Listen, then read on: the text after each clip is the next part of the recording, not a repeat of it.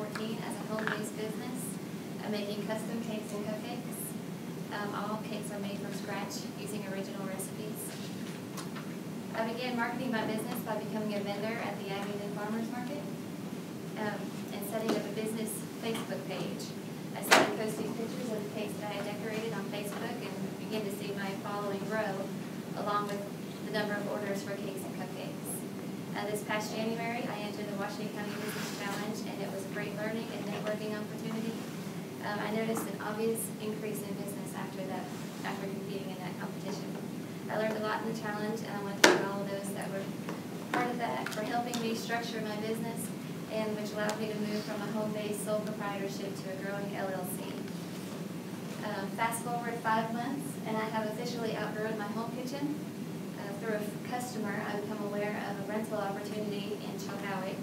I contacted the owner, presented her my business pitch. She loved the idea, so we worked out a, a rental agreement, and now I'm at 132 East Main Street in Chilhowie, Virginia, which is the former Townhouse Grill restaurant. On August 1st of this year, my business went from home-based to commercial. After moving into the commercial kitchen, my business became certified by the Department of Agriculture, which allowed me to pursue my goal of marketing to restaurants and businesses. Um, as of today, I now sell to Political Dogs in Abingdon, and I also sell cupcakes to Riverfront Restaurant in Chilhowie. The Clifton Companies in Abingdon is currently my largest single client, and they often place orders of up to 60 dozen cupcakes for them to use as their marketing to thank their clients and um, all over Southwest Virginia and Northeast Tennessee. Most recently, Scholle Corporation in Chilhowie has contacted me about providing cupcakes to their employees as a employee appreciation program, and we plan to intensify our marketing to businesses throughout the region. Sweet Works has shown steady growth. In fact, since moving to Chilhowie location, I've hired one part-time employee, and I plan to make that part-time employee a full-time position. We plan to take advantage of the mo- momentum behind our growth and begin our four-part expansion plan. I have customers who purchase large amounts of cupcakes for weddings, anniversaries, business, luncheons, things like that. And they have often required, inquired about Sweet Works offering catering services. They would like to have all their meal and dessert needs met by the same vendor. So we began to explore the feasibility of offering catering services. Since moving back to Virginia three years ago, my husband Stacy has developed quite a reputation for some of the best pulled pork you'll ever have. Um, hopefully you've had the opportunity to try some tonight and agree with that. Um, this began as a passion for good barbecue and a love for cooking for friends and family. Uh, friends and family and coworkers often request that Stacy cook for their events, special events, and thus began a desire for him to turn his craft into a business. Uh, we obtained a permit from the Smyth County Health Department to um, operate as a caterer restaurant. A local physician and fan of my husband's barbecue asked us to cater an event for her. She needed a barbecue feast for about 100 people for a function she was hosting for Cornerstone Christian Academy. This was a huge success, and since that event, we have catered three more events. The best part of this um, is that we haven't even really begun to advertise the catering yet. In order to focus on the, both the quality of food and service, our menu will be limited at first. It will consist of smoked pork and a choice of sides. Um, all recipes, including sauces and meat rubs, are 100% made from scratch and developed by us. Uh, this unique quality and taste comes from the pork barbecue seasoning and also from the use of the big green egg. Uh, the egg is unique because of the ceramic, cer- let me get this correct, ceramic cooking chamber that retains heat and keeps food moist. And it uses natural hardwood versus charcoal briquettes. The big green egg and its curiosity surrounding it makes our business a little more unique locally. The second part of our expansion plan to open the restaurant area as a storefront bakery for walk-in customers. Um, and we plan to start that in December of this year.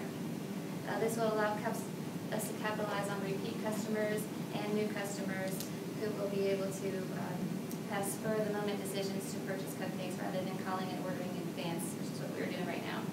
Along with this, along with this, we'll also have, coffee and tea available. Uh, in December, we will also start marketing carry-out. Uh, these will be available one to two days per week. We'll advertise these by uh, flyers and surrounding businesses on Facebook and on our website The lunch will be pulled pork barbecue and choice of sides, served in uh, different varieties such as sandwiches, nachos, stuffed baked potatoes. Um, The lunches are actually a marketing strategy to get people to use the catering services. Um, If things go as planned, we'll also begin to sell our barbecue sauces and barbecue rubs in the storefront by spring, just in time for grilling season. The third part of our expansion plan will also begin in December. We plan to advertise the restaurant area as an event venue for parties. There's not a whole lot of options in Chilhowie um, for places to host your party, so we think that we can capitalize on that. The Customer will have the option of bringing their own food or ordering their food from us. The fourth and final part of our expansion plan begins after two years of sustained growth. Uh, we would like to add a vending, a food vending trailer to take to local and regional events and also business sites in Washington County. With our expansion plan comes a, comes the requirement for additional employees. Uh, Stacy, my husband, will be the catering manager. I will be the manager over the cakes and cupcakes and the storefront. Um, we are planning to hire one full-time person and two part-time people. Current part-time person that I have right now will become the full-time person in December. And you can see the time frame for hiring the other part-time employees. Um, These lucky individuals will have be trained in both the bakery and the catering. If we are chosen as the lucky winner, winners of the My Southwest Virginia Community Cup, we will purchase the following items. The delivery vehicle, uh, transport trailer for the egg, for eggs, um, a display case for the restaurant, and an extra large green egg. And these are not necessarily the ones that we will buy, but, um, while projecting our three-year cash flow, we compared our two thousand fourteen sales to our two thousand fifteen sales, and a month-to-month comparison shows that sales in some months of this year are increasing by as much as three times over the same months in two thousand fourteen. Each monthly comparison showed a minimum of sales doubling. Current cost of goods sold for two thousand fifteen is thirty-five point eight percent, and our current operating expenses is thirty point seven percent, which we anticipate that these numbers will change in the future, but we also project continued growth in sales. So lastly, we would like to leave you with a quote from my husband, and we would like to thank everyone involved in the Southwest